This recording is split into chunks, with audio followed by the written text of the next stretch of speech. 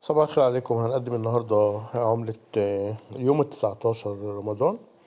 زي ما وعدتكم نمشي لآخر رمضان إن شاء الله. هنقدم النهاردة جنيه الفلاح المصري.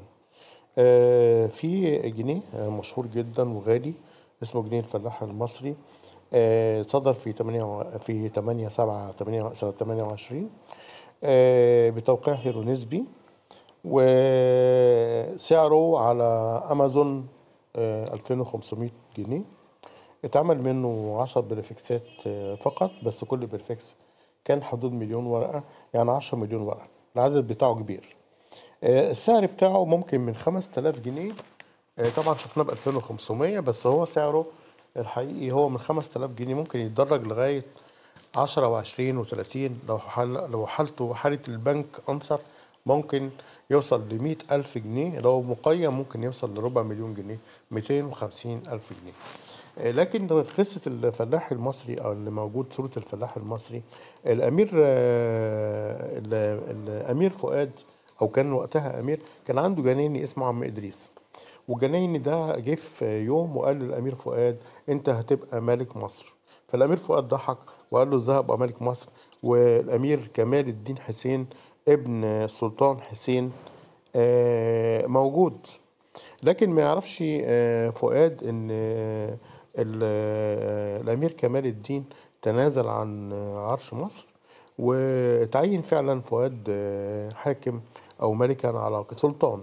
وقتها كان سلطان على مصر وراح في زيارة لقصر الزعفران لقى عم إدريس بيصلي فقعد جنبه لغاية ما خلص صلاة وقال له آه، اتحققت النبوءة بتاعتك الحلم اللي أنت قلت عليه. وأنا بقيت آه، ملك مصر. وقال له أنت إدريس بيك ومنحه لقب يعني. وأوعدك هتكون صورتك على أول جنيه تصدره الحكومة بتاعتي. وفعلا الملك فؤاد أصدر آه، هذا الجنيه بصورة آه، آه، عم إدريس.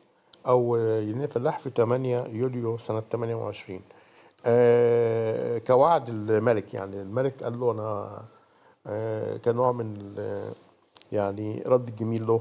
عايز يقول له اعتراف بجميلك أو حلمك الجميل ده أنت بشرتني بيه هحط صورتك على على الجنيه.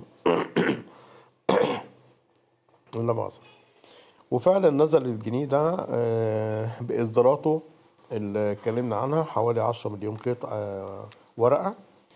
وجزء منه هو بيحمل J من J واحد ل J سبعة ال prefix ات يعني. آه، اتعمل جزء آه، في 28 سنة 28 وجزء سنة 29 وجزء سنة 30 يعني ما نزلش مرة واحدة. نزل على حوالي ثلاث سنوات. ودي المعلومات اللي عندنا بخصوص جنيه الفلاح المصري وده اليوم ال 19 من رمضان. كل وأنتم طيبين يا رب نكمل لآخر يوم. السلام عليكم ورحمة الله وبركاته.